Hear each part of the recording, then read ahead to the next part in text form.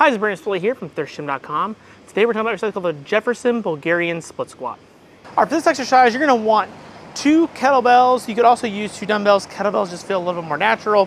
Uh, and a split squat pad, a bench, something to elevate your rear foot on for your Bulgarian split squat.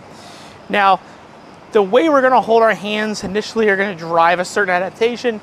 So more cases than not on this exercise, you're gonna have your left palm up and your right hand down, and I'll explain why here in a second. So from here, I'm gonna take right hand down, left hand supinated or opened up, and then again, doesn't really matter what leg I have forward because my hands are gonna stay the same the entire time. But from here, now I'm just gonna go down into my Bulgarian split squat and then back up.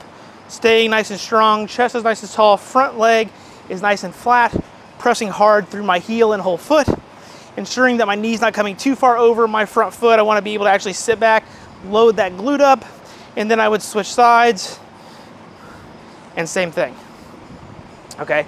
Now the reason we prefer a left hand up and right hand down position is that that is now going to turn my upper body this way. It's gonna turn it towards the left. So you're gonna turn towards the supinated hand. The reason you may wanna do that is because of the way our body is designed on the inside, we're a little more biased towards a right turn. So by doing this, we can turn ourselves towards the left or maybe even more neutral for super far right.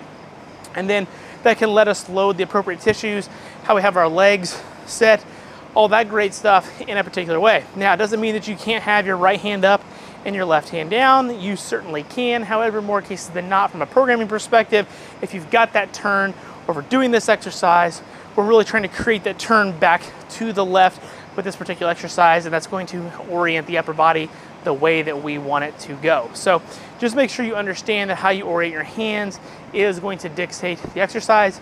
Otherwise, if you don't care, just hold both dumbbells or kettlebells by your side and just load things as you normally would. For this particular exercise, it works great in those standard hypertrophy ranges, two to four sets. I have usually six to 12 reps per side, really loading up those glutes, hamstrings, and quads. It is a very taxing exercise once you actually load this bad boy up. So feel okay to take anywhere from 30 to 45 seconds between each leg, catch your breath and go again so you can give a high level of effort to each leg as needed. If you got any questions, just let me know in the comment section below. Thanks, have a great day.